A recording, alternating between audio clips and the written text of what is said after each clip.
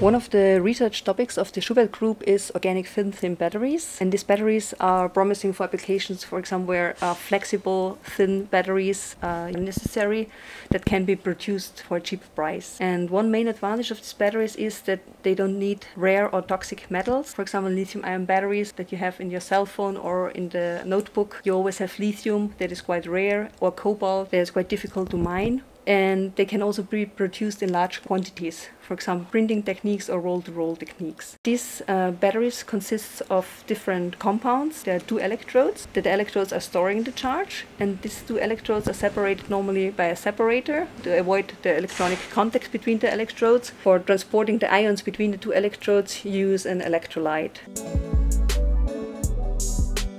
For the research of new materials for organic batteries, we start normally with the synthesis of the so-called active materials. That means the materials that can store the energy in the battery. This is done in a common chemical lab. And once we have these active materials, we test them in different formats. For example, in coin cells that you know from at home, or also in so-called pouch cells that are flexible, that can be also used in cell phones or in smart clothes. For the active material, if you want to test them, we have to do a so-called slurry. This is a, a, mixture of different components. So you need the active material, then you need a conductive additive in order to transport the electrons between the active materials and also the current collector. And to bind everything together, you need a polymer, so-called binder. This is like an egg in the pasta that you get a nice dough. This mixture is then mixed with a disperser and afterwards coated on a so-called current collector. And after the drying of these coated electrodes, they are punched out to electrode discs. And then the electrode and the polymer electrolyte, they are assembled in coin cells. So you put the one electrode, then the polymer electrolyte electrolyte or a separator with a liquid electrolyte and the other uh, electrode. Then you close it and then you put it in the crimper and you close the coin cell. And afterwards you can take the coin cell that was prepared like that and test it with a battery cycler.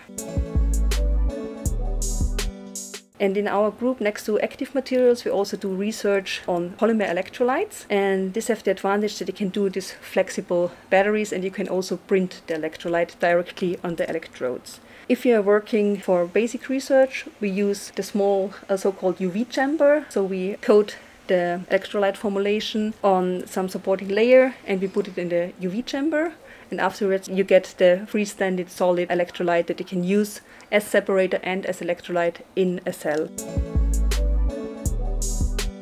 If we do more industry-related research, we have also UV conveyor belt in order to have the same conditions like they would be used afterwards in industry. In the field of printed batteries, actually we have a project with the industry Evonik and they are right now also uh, on the way to commercialization of these printed batteries with the results gained in this project.